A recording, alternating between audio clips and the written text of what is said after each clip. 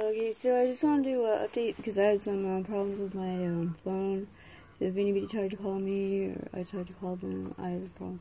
Anyway, so uh, I just want to say um, my um, eye thing. I, I didn't actually have uh, eye surgery, but um, it's probably gonna take about a month. And like I totally, you, you know, I can't see out of one eye, and you know, I can just see light and uh, but hopefully it'll be repaired. So probably in about a month, then I gotta have work done on my uh, you know teeth and I'll have all evaluated.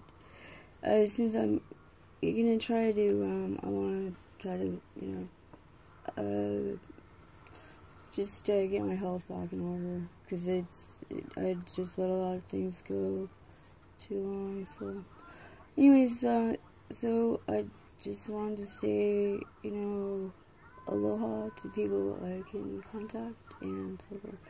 Uh, so thanks.